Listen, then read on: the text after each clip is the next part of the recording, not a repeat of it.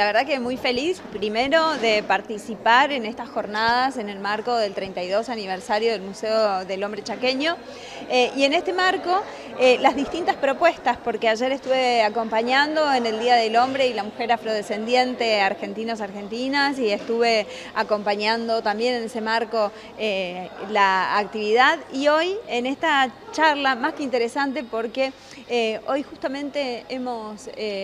discutido, hemos aportado a esta construcción con mirada colectiva, de tener la posibilidad de eh, plantear de qué manera intervienen las diversidades eh, cuando hablamos de diversidades, ¿de qué hablamos? Eh, nosotros vivimos en una provincia que es muy diversa en términos culturales, pero también en términos lingüísticos y también en términos espirituales y en ese sentido era importante poder abrir las puertas del museo que siempre se ven como espacios estancos a poder discutir estas miradas, incorporando por supuesto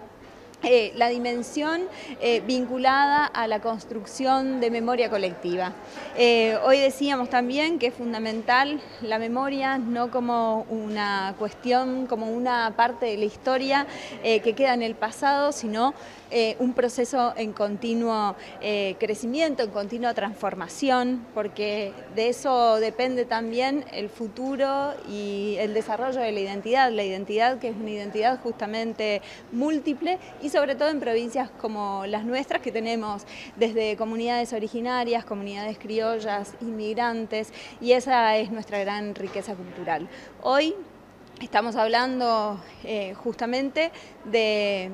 ampliar y abrir la mirada de los patrimonios, en este caso las instituciones como el Museo del Hombre Chaqueño, y poder generar estas tensiones que se van generando eh, propias de los avances eh, de la sociedad, de los movimientos también que, que dan las nuevas generaciones. Así que acá dando, por supuesto, el debate, aportando las ideas para poder construir de manera colectiva eh, este, esta provincia que queremos, que tiene que ser una provincia diversa eh, y tiene que ser una provincia absolutamente eh, pluricultural, plurilingüe y pluriespiritual.